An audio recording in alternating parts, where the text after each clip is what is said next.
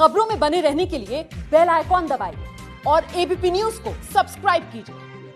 बिट्टा साहब पहले मैं आपसे करना चाहती हूँ।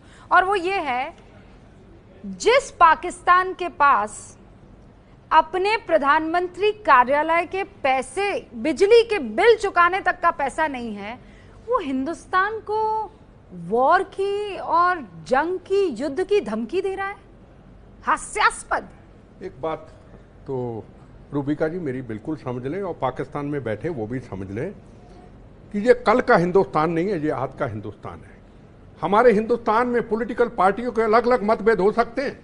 पर जहाँ प्रथम राष्ट्र का सवाल आ जाए और उसका प्रधानमंत्री श्री नरेंद्र मोदी अजीत डवाल, अमित शाह और ऐसी टीम है हिंदुस्तान के अंदर वो पहल नहीं करेगी, ये हम आपको बता दें। आज पाकिस्तान की हालत क्या है? हम रोज इनकी वीडियोस देखते हैं, रोज इनके चैनलों में आता है। खाने को रोटी नहीं लोग रो रहे हैं और हिंदुस्तान को हमें तरस आता है। पाकिस्तान में आम आदमी जो है, उससे हमारी क्या दुश्मनी? वो हमारा भाई है। हम चाहते हैं कि पाकिस्तान में अमन शांति हो, हमारे देश में हो, पर अगर पाकिस्तान ऐसा हरकत करने की हमें डराने की कोशिश करता रहे, ये तो नरेंद्र मोदी है भाई। वो वक्त गुजर गए। कि हमारे जवानों के सिर कट गए और मुशर्रफ था ताजमहल में आ गए वो वक्त गुजर गए। आप देखिए कि जब से नवाज़ शरीफ के पास नरेंद्र मोदी जी गए और उसके बाद पाकिस्तान की दीनानगर की घटना हुई क्या आज तक जवाब दिया जा रहा है या नहीं दिया जा रहा? आज तक पाकिस्तान को जवाब दिया जा रहा है। पहले हमने शांति की बात की। ग्राफिक्स मेरे तैयार हैं। आप बस देख लीजिए जो गीदड़ भपकिया आप देख रहे दे रहे हैं बार बार हिंदुस्तान को वो आप खड़े कहाँ हैं? Where is your position Bitta साहब महमूद साहब दुनिया में आपने देख लिया, रशिया को देख लिया, अमेरिका ने किस तरीके से राष्ट्रपति ने पीएम का साथ दिया? आपने दुबई में देख लिया, आपने बांग्लादेश में देख लिया, आपने हर जगह पे देख लिया, आप खड़े क्या हैं? हम युद्ध नहीं जाते पर अगर आप परमाणु की बात करते मिजाइलों की बात करते, एक बात सुन लीजिए, आज के दिन वो शेर बड़ा ढुकता है, पहले भी बोल चुका हूँ आपको। सदियों से कश्मीर है मेरा। अब भी मुझसे दूर नहीं। तू मांग रहे कश्मीर, मुझे उसकी मिट्टी देनी मंजूर नहीं। बीवी बच्चों से बढ़कर, कश्मीर तो मेरी जानू है। मत करना धमाके की बात। भारत का हर एक पत्थर परमाणु है। अभी तो हमारा परमाणु तो बहुत ऊपर है, जनाब। ये आज का भारत है, समझ लीजिए। हमारे देश में कोई मसले नहीं। है ये पॉलिटिकल लड़ाइयाँ चलती रहती।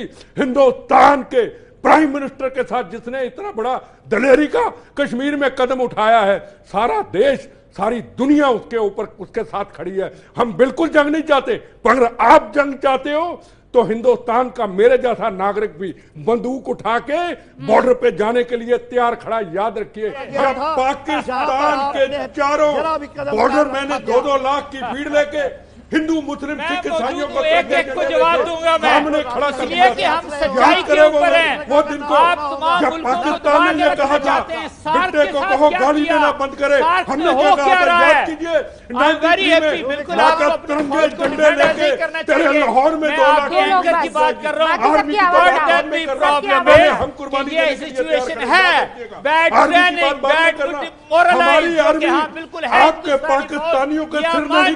है आप आप हमारे जवानों के सिर काटते हैं आप हमारे जवानों के शरीरों को काटते हैं हम नहीं कि हम एक गोली का जवाब सौ गोली में देते बड़ा हैं मुश्किल हो जाएगा। किसी का ये सिर आप नहीं यकीन काटते। रखिए, हमारी बड़ा मुश्किल हो जाएगा। हिंदुस्तान की आर्मी हाँ। का ये दस्तूर है आपने हमारे अठारह। जवान शहीद किए कितने मिनट लगे पंद्रह मिनट घुस करके पाकिस्तान के आके टैंक तबाह करके पचास आतंकवादियों को डेर करके आए ये हमारी डिमोरलाइज फोर्स है आपने चार जवान शहीद किए पाकिस्तान में घुस करके.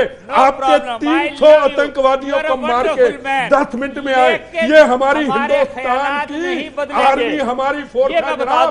दूसरी बात हिंदुस्तान के मुसलमानों की बात करते हैं एक के आवाज़ हिंदुस्तान के मुसलमान भाई की तीन सौ सत्तर धारा के लिए नहीं हुआ को हर मुसलमान ने कहा हमारा भाई मुसलमान उसने कहा हिंदुस्तान मेरा है मैं हिंदुस्तान ये के बड़ा हूँ। मुश्किल होगा हमारे पंजाब के सिखों के लिए भी। मुसलमान भाइयों के ऊपर उंगल उठाने की कोशिश मत करें अरे भाई, आपसे आप- आप ज़्यादा मुसलमान तो भाई हमारा कोई हिंदुस्तान नहीं में है। गलत फहमी में मत अच्छा, रहिए।